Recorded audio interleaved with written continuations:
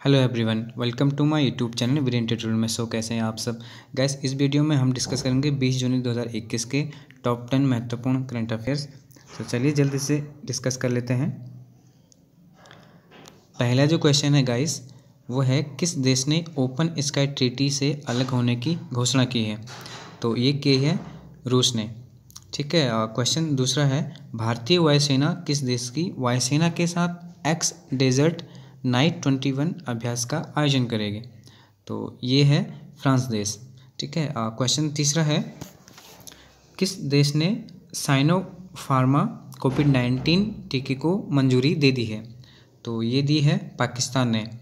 Question चौथा है दोस्तों, कौन सी राज्य सरकार इको रिट्रीट उत्सव के दूसरे संस्करण का आयोजन कर रही है?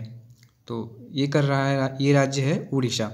ठीक है क्वेश्चन फिफ्थ है दोस्तों Khelo India Zanskar winter sports and youth festival 2021 का शुभारंभ कहाँ हुआ है?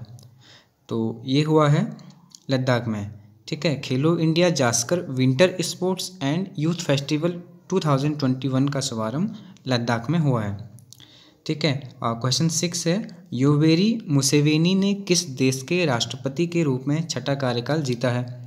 तो इसका आंसर है युगांडा। ठीक है? क्वेश्चन सातवां है दोस्तों। सोमनाथ मंदिर ट्रस्ट का अध्यक्ष किसे नियुक्त किया गया है? तो ये नियुक्त किए गए हैं नरेंद्र मोदी, ठीक है? प्रधानमंत्री नरेंद्र मोदी। ठीक है, भारत अगला क्वेश्चन है, भारत सरकार ने किस दिन को पराक्रम दिवस के रूप में मनाने की घोषणा की है? तो ये है तेईस जनवरी। कैस अगर हम तेईस जनवरी की बात करें तो तेईस जनवरी को, यानी तेईस जनवरी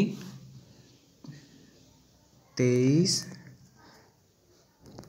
जनवरी 1897 में नेताजी सुभाष चंद्र जी का जन्म हुआ था। तो अब भारत सरकार का कहना है, जो एक सौ पच्चीसवीं जयंती है नेताजी सुभाष चंद्र बोस की, तेईस जनवरी को तो उस दिन को अब पराक्रम दिवस के रूप में मनाया जाएगा।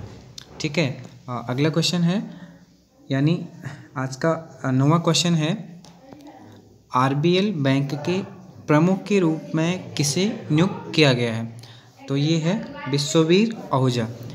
गाइस अगर बात करें आरबीएल की, आरबीएल का मतलब होता है रत्नाकर बैंक लिमिटेड। इसकी स्थापना हुई थी उन्नीस में। ठीक है, आरबीएल की स्थापना कब हुई थी? उन्नीस में। अगर हम बात करें इसके शाखा की, यानी ब्रांच तो इसकी ब्रांचेज हैं वर्तमान में थ्री हंड्रेड ट्वेंटी फोर यानी तीन सौ चौबीस शाखाएँ हैं अभी। ठीक है? सो गाइस आज का लास्ट क्वेश्चन है, यानी दसवां क्वेश्चन है यूनेस्क थाईलैंड ओपन बैडमिंटन टूर्नामेंट किसने जीता है? तो ये जीता है कैरोलिना मारिन ने।